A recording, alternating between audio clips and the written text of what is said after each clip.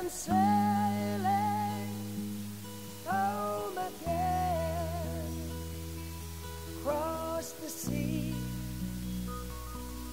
I am sailing stormy water.